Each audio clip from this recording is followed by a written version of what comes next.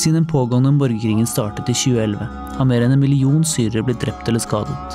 Over halvparten av landets befolkning har blitt tvunget til å flykte fra hjemmene sine, som gjør Syria til verdens største flyktningkrise.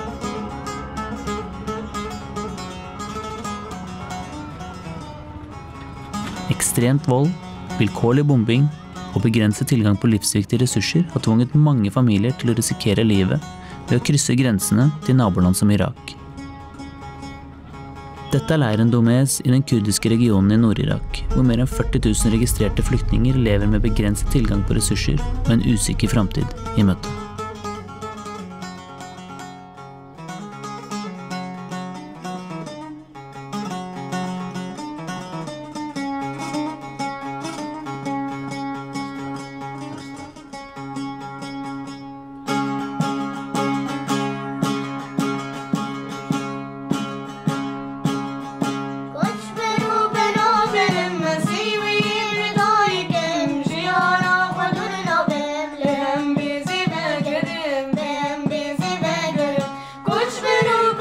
المسيح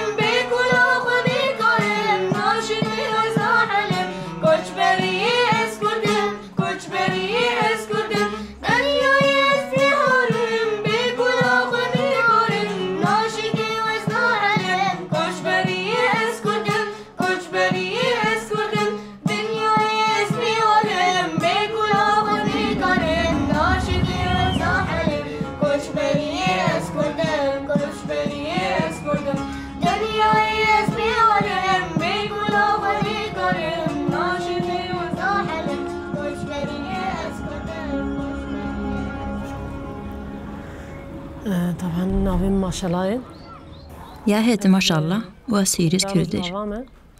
Jeg er gift og mor til fire. Originalt er jeg fra Derek, men jeg har vokst opp i Damaskus. Hjemmet mitt er Damaskus. جاري ام الديرجي وين بس يعني از ام شامي دامازن بينا يعني مسكنة ما اساسي شام det var krig overalt. Kampene var omtrent 15 minutter unna oss, og vi kunne høre lyden av eksplosjoner og skytevåpen. Noen netter vekket lyden av eksplosjonene oss, og barna ble redde. Vi måtte gå ned i første etasje for å roe dem ned. بيرام قالك جرا ما زاروك يعني شيف ام دنك بي دنجي شدي ام راض بين زاروك ترسيان ام تشون ام طبقات دوين طبعا ام نازلين جن اهلي من طبقة ارضي ما حاضري خوك Vi gjorde ingen forberedelser. قديش هو اول شيء ما تقوم Vi trodde vi ikke ville komme oss ut av Syria. Vi trodde aldri at Syria ville bli så ødelagt som nå. Og før, da vi så nyheter om kriger i andre regioner, pleide vi å synes synd på menneskene der.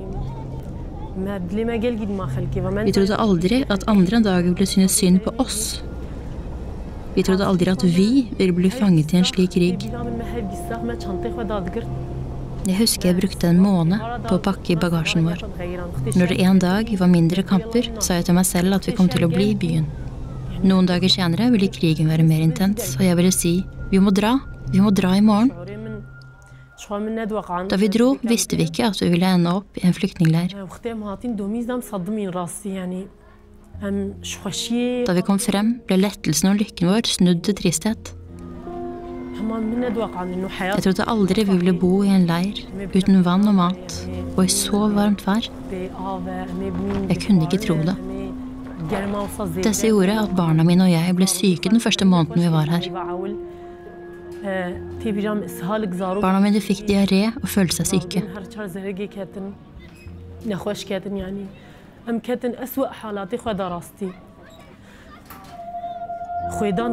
De var gjennomdrukket av svette, men det var ikke noe vann til å få badet dem. Iblant måtte vi stå i kø under den brennende solen for å ta imot nødhjelp. Jeg husker en gang jeg sto i kø med sønnen min. Kinnene hans ble solbrente og røde. Vi måtte stå der i en time.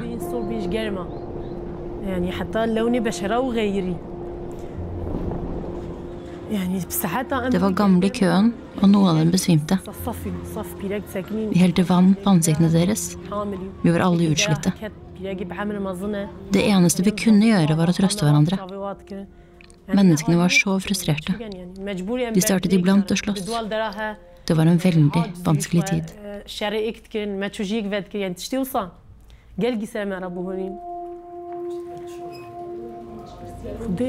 Men nå jobber jeg på Leger uten grenser som helsepromotør i leiren.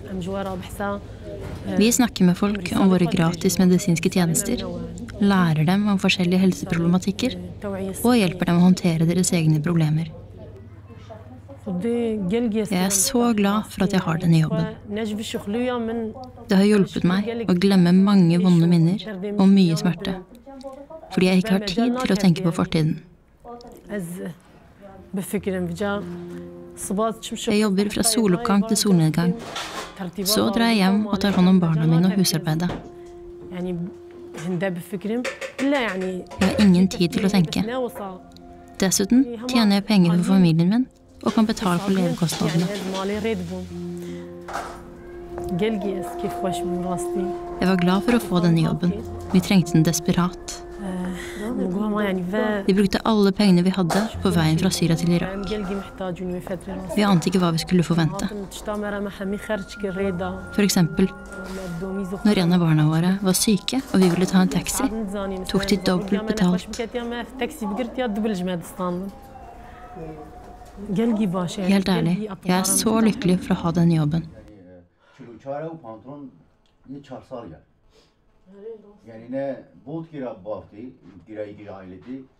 Kom, kjære. Kom og få frokost. Jeg burde dra på skolen. Kom her, kjære. Spis litt frokost. Jeg må dra snart. Jeg må på skolen. God morgen. God morgen.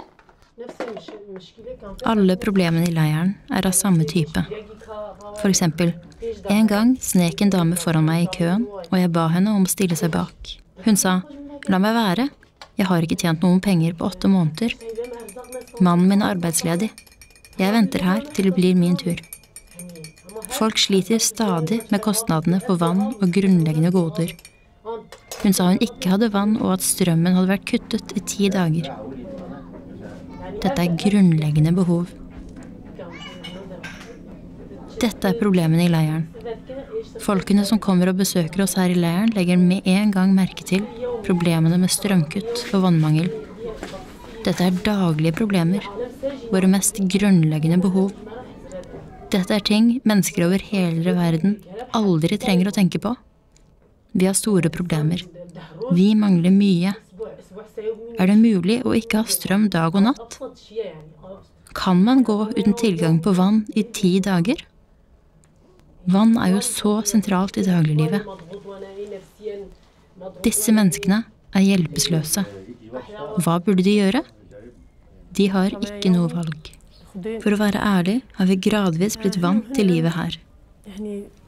Vi har ikke noe annet valg. Vi kan enten tilpasse oss eller dra tilbake til Syria. Og vi kan ikke dra tilbake til Syria pga. barna våre. Alt vi eide i Damaskus, ble stjålet.